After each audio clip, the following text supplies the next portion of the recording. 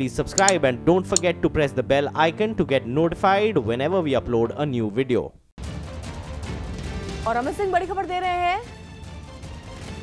Delhi NCR में इस मौसम में पहली बार कोहरा पड़ा है। सुबह जब लोग यहाँ के लोग जब उठे तो उन्हें आसपास कोहरे की गाढ़ी चादर दिखाई दी। गहरे कोहरे की वजह से दिल्ली एनसीआर में यातायात की रफ्तार धीमी हो गई। यही हाल दिल्ली के पास के हरियाणा के रोहतक ज़िले में भी दिखा।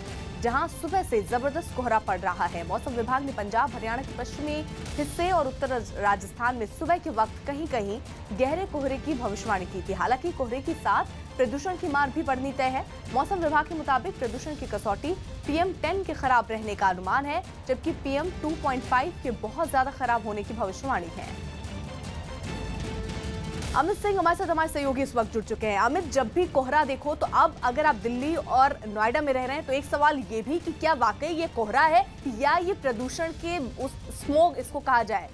तो अब इस तरीके के मानक को कैसे तय करेंगे और जो खराब स्थिति है, उसको क्या सुधारने का प्रयत्न?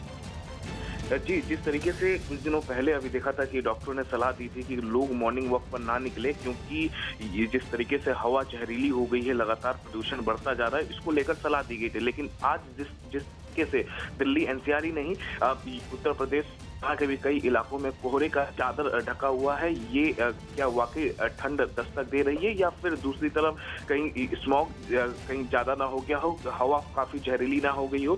इसके लिए लगातार संशय बना हुआ है। निश्चित तौर पे जो मौसम विभाग है, वो थोड़ी देर बाद इससे पर्दा उठा देगा कि आखिरकार ये फॉग है या स्मॉग है। फ़िलहाल जो है जो है विजिबिलिटी पर असर देखने को मिल रहा है। दिल्ली एनसीआर में भी विजिबिलिटी पर असर है और हरियाणा और उत्तर प्रदेश के कई इलाकों में भी कोहरा है, जिसके वजह से जो लोग गाड़ी चला रहे हैं, उन्हें दिक्कत हो रही है। जी। जी, शुक्रिया।